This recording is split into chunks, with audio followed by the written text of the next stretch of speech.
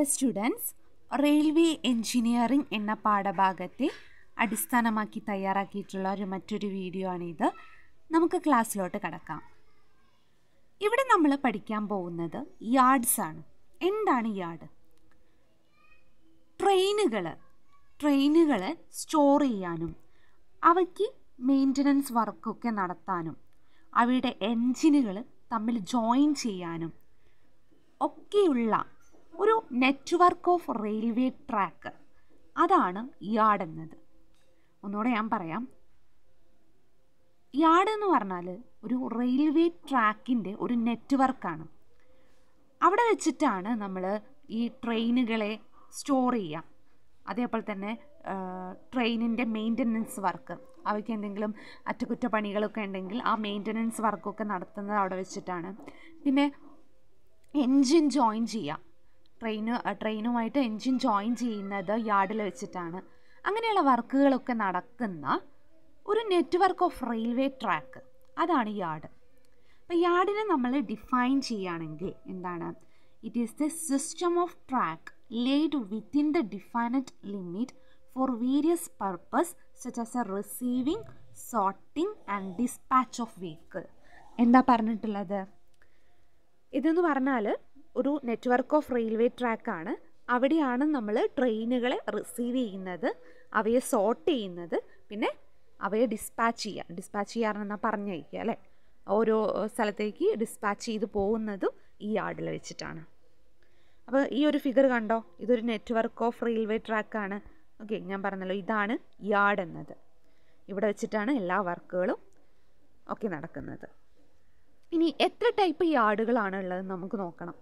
Passenger യാർഡുണ്ട് goods യാർഡുണ്ട് marshalling യാർഡുണ്ട് ലോക്കോമോട്ടീവ് യാർഡുണ്ട് അപ്പോൾ വൺ ബൈ വൺ ആയിട്ട് നമുക്ക് ഓരോന്ന് നോക്കാം.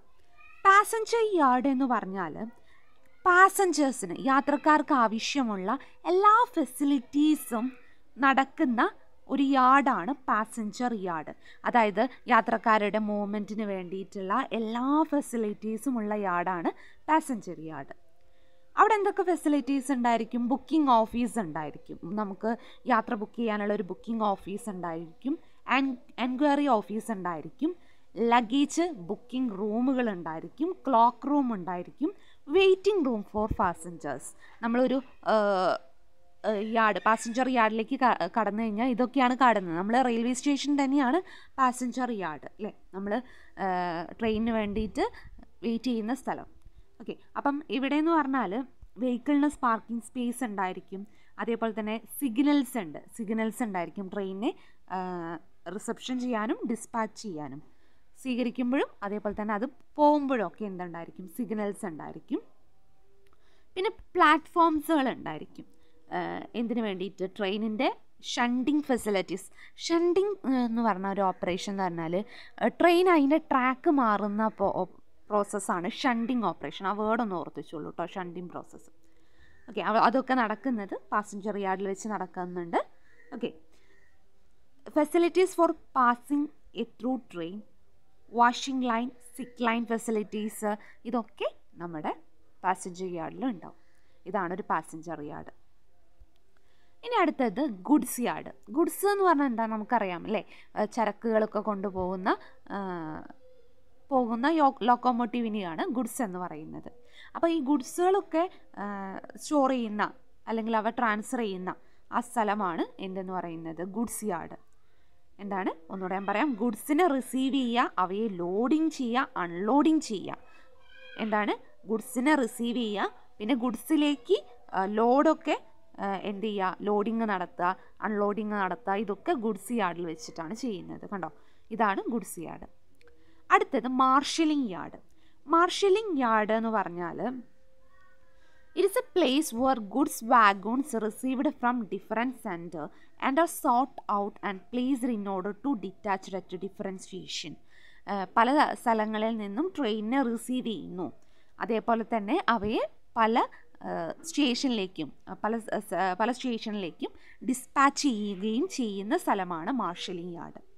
ഇതൊരു ഡിസ്ട്രിബ്യൂഷൻ സെന്ററാണ് അതായത് പല സ്ഥലങ്ങളിൽ നിന്നും ട്രെയിൻ വരികയും ഈ മാർഷലിംഗ് യാർഡിൽ വെച്ചിട്ടാണ് പല സ്ഥലങ്ങളിലേക്ക് ട്രെയിൻ പോവുകയും ചെയ്യുന്നത്. ഓക്കെ എം ടി വാഗോൺസ് ഒക്കെ ഈ മാർഷലിംഗ് യാർഡിൽ എപ്പോഴും ഉണ്ടാവാറുണ്ട്. ഇതാണ് ഒരു മാർഷലിംഗ് യാർഡിന്റെ ഫിഗർ ദിസ് ഈസ് എ ഇനി അടുത്തത് ലോക്കോമോട്ടീവ് യാർഡാണ് ലോക്കോമോട്ടീവ് യാർഡ് എന്ന് പറഞ്ഞാൽ ഒരു ട്രെയിനിന്റെ എല്ലാ ലോക്കോമോട്ടീവ് ഫെസിലിറ്റീസും അതായത് അതിനെ വാട്ടറിങ് ചെയ്യുക നമ്മൾ വാട്ടർ കോളം ഉപയോഗിച്ചിട്ട് വാട്ടറിങ് ചെയ്യുന്നത് നമ്മൾ പഠിച്ചിട്ടുണ്ട് അല്ലേ അതേപോലെ തന്നെ അതിനെ ഫ്യൂവലിങ് ചെയ്യുക ഈ ട്രെയിനെ ക്ലീൻ ചെയ്യുക അതിനെ റിപ്പയർ ചെയ്യുക അതിനെ സർവീസ് ചെയ്യുക സർവീസിങ് ഇതൊക്കെ നടക്കുന്ന യാർഡാണ് ലോക്കോമോട്ടീവ് യാർഡ് ഇതാണ് ലോക്കോമോട്ടീവ് യാർഡ് ഓക്കെ അടുത്ത നമ്മൾ ക്രീപ്പ് ക്രീപ്പ് ഞാൻ പറഞ്ഞിട്ടുണ്ടായിരുന്നു. എന്താണ്? Longitudinal movement of rail in the direction of movement അല്ലേ മൂവ്മെന്റിന്റെ അതേ ഡയറക്ഷനിലുള്ള ലോഞ്ചിറ്റ്യൂഡിനൽ മൂവ്മെന്റ് ഓഫ് റെയിലാണ് ക്രീപ്പ് ഓക്കെ ഇനി എന്തൊക്കെയാണ് മേജർ കൗസസ് ക്രീപ്പ് രണ്ട് തരത്തിലാണ് ഉണ്ടാവുക. മേജർ കോസസ് ഓഫ് ക്രീപ്പും ഉണ്ടാവും. മൈനർ കോസസ് ഓഫ് ക്രീപ്പും ഉണ്ടാവും. മേജർ കോസസ് ഓഫ് ക്രീപ്പ് എന്ന് പറഞ്ഞാൽ നമ്മൾ ട്രെയിന് ട്രെയിന് സ്റ്റാർട്ട് ചെയ്യുമ്പോഴും അത് സ്റ്റോപ്പ് ചെയ്യുമ്പോഴും ക്രീപ്പ് ഉണ്ടാവാം. ഓക്കെ അപ്പം സ്റ്റാർട്ട് ചെയ്യുമ്പോൾ അതാ എങ്ങനെയാണ് ഉണ്ടാവുക സ്റ്റാർട്ട് ചെയ്യുമ്പം നമുക്കറിയാം എങ്ങോട്ടാണ് ഫോഴ്സ് വരുന്നത് ബാക്കോട്ടല്ലേ ഫോഴ്സ് വരുന്നത് അതുകൊണ്ട് ഡയറക്ഷൻ ഓഫ് ക്രീപ്പ് ബാക്കോട്ടായിരിക്കും ഇനി ഇനി സ്റ്റോപ്പ് ചെയ്യുന്ന സമയത്ത് ബ്രേക്ക് അപ്ലൈ ചെയ്ത് നമ്മൾ സ്റ്റോപ്പ് ചെയ്യുന്ന സമയത്ത് എന്ത് ചെയ്യും? സ്റ്റോപ്പ് ചെയ്യുന്ന സമയത്ത് മുന്നോട്ടാണ് നമ്മൾ ഫോഴ്സ് അപ്ലൈ ചെയ്യുന്നത് അതുകൊണ്ട് ക്രീപ്പിന്റെ ഡയറക്ഷൻ മുന്നോട്ടായിരിക്കും ഉണ്ടാവുക. ഓക്കെ പിന്നെ ക്രീപ്പ് വേവ് മോഷൻ കാരണം എന്തുണ്ടാവാറുണ്ട്? ക്രീപ്പ് ഉണ്ടാവാറുണ്ട്. കണ്ടോ? ഈ ഒരു വേവ് മോഷൻ കാരണം ക്രീപ്പ് ഉണ്ടാവാറുണ്ട്. പിന്നെ അൺഈക്വൽ എക്സ്പാൻഷനും കോൺട്രാക്ഷനും ടെമ്പറേച്ചർ കാരണമുള്ള അൺഈക്വൽ ആയിട്ടുള്ള എക്സ്പാൻഷനും കോൺട്രാക്ഷനും ക്രീപ്പിന് കാരണമാവാറുണ്ട്. ഇനി മൈനർ കോസസ് ഓഫ് ക്രീപ്പ് എന്തൊക്കെയാണ്? ക്രീ നമ്മുടെ റെയിൽ സ്ലീപ്പറുമായിട്ട് നന്നായിട്ട് ഫിക്സ് ചെയ്തിട്ടില്ലെങ്കിൽ ക്രീപ്പ് ഉണ്ടാവാം. ബാഡ് ഡ്രെയിനേജ് ട്രാക്കിലെ ബാഡ് ഡ്രെയിനേജ് കാരണം ക്രീപ്പ് ഉണ്ടാവാം. ബാഡ് ക്വാളിറ്റി ഓഫ് സ്ലീപ്പർ കാരണം ക്രീപ്പ് ഉണ്ടാവാം. ഇംപ്രോപ്പർ കൺസോളിഡേഷൻ അതായത് നല്ല രീതിയിൽ കൺസോളിഡേറ്റ് ചെയ്യണം എന്ന് നമ്മൾ പറഞ്ഞിട്ടുണ്ടായിരുന്നു അല്ലേ? അല്ലെങ്കിൽ അതിന്റെ എയർ വോർഡ്സ് ഉണ്ടാവും അത് പ്രശ്നമാവും അല്ലേ? അപ്പോൾ അതുകൊണ്ട് തന്നെ ക്രീപ്പ് ഒഴിവാക്കാൻ വേണ്ടിയിട്ട് നല്ല രീതിയിൽ കൺസോൾട്ടേഷൻ ചെയ്യേണ്ടതുണ്ട്. അപ്പോൾ കൺസോൾട്ടേഷൻ നന്നായിട്ടില്ലെങ്കിൽ എന്തുണ്ടാവും? ക്രീപ്പ് ഉണ്ടാവും. ഓക്കെ അപ്പോൾ ഇതൊക്കെയാണ് മേജറായിട്ടുള്ള കാര്യങ്ങൾ. ഇതൊക്കെ ഒന്ന് ഓർത്ത് വെച്ചാൽ മതി. ഓക്കെ ഇനി എങ്ങനെയൊക്കെയാണ് നമുക്ക് ക്രീപ്പ് ഒഴിവാക്കാൻ പറ്റുക? പുള്ളിങ് ബാക്ക് മെത്തേഡാണ് ആദ്യത്തേത്. രണ്ടാമത്തെ നമ്മൾ പഠിച്ചതാണ് അല്ലേ? ആന്റി ക്രീപ്പ് അഥവാ ആങ്കേഴ്സ് കൊടുക്കുക. ഇതൊരു ഫാസ്റ്റനിങ് ആണ്. ആന്റി ക്രീപ്പ് അഥവാ ആങ്കേഴ്സ് എന്ന് പറയുന്നത്. നമ്മൾ റെയിലിൽ ഫിക്സ് ചെയ്യുന്ന സാധനമാണ് കേട്ടോ. ഇനി പുള്ളിങ് ബാക്ക് മെത്തേഡ് ഞാൻ കാണിച്ചു തരാം. പുള്ളിങ് ബാക്ക് മെത്തേഡ് എന്ന് പറഞ്ഞാൽ ഈ റെയിലിൽ പിടിച്ച് പുള്ളി ചെയ്യുക.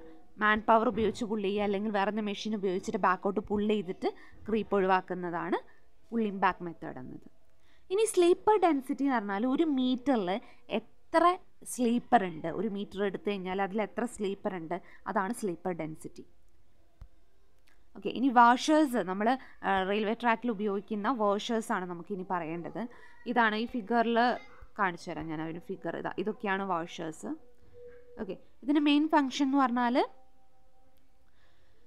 provide gate or bolt tension per unit of applied tighter assembly okay അതായത് നമ്മൾ ടൈറ്റ് ചെയ്യാൻ ഓരോ ഭാഗങ്ങൾ ടൈറ്റ് ചെയ്യാൻ വേണ്ടിയിട്ട് ഓഷേഴ്സ് യൂസ് ചെയ്യാറുണ്ട്. ഓക്കെ പിന്നെ അതേപോലെ തന്നെ protection against looseness loose loose ആവുന്ന സമയത്ത് ചില ഭാഗങ്ങളൊക്കെ ലൂസ് ചെയ്യുന്നതിൽ നിന്നും ഒരു പരിധിവരെ പ്രൊട്ടക്ഷൻ നൽകാൻ വാഷേഴ്സിന് കഴി കഴിയാറുണ്ട്. പിന്നെ കണ്ടിന്യൂ യൂണിഫോം ആയിട്ടുള്ള ലോഡ് ഡിസ്ട്രിബ്യൂഷൻ ചെയ്യാറുണ്ട്. ഓക്കെ പിന്നെ അതേപോലെ തന്നെ മോർ ടോർക്ക് കൺട്രോൾ ചെയ്യാനും നമ്മുടെ വാഷേഴ്സ് ഹെൽപ്ഫുൾ ആവാറുണ്ട്. അപ്പോൾ ഒന്നുകൂടെ പറയാം. ടോർക്ക് കൺട്രോൾ ചെയ്യുന്നു. അതേപോലെ തന്നെ യൂണിഫോം ആയിട്ടുള്ള ലോഡ് ഡിസ്ട്രിബ്യൂട്ട് ചെയ്യുന്നു. ലൂസിനിങ് അവോയ്ഡ് ചെയ്യുന്നു. ഇതൊക്കെയാണ് മേജർ ആയിട്ടുള്ള വാഷേഴ്സിന്റെ ഫങ്ഷൻ ഓക്കെ ഇതാണ് വാഷേഴ്സ് കേട്ടോ. ഓക്കെ ഇത്രയാണ് നമുക്കിതിൽ പറയാനുള്ളത്. താങ്ക്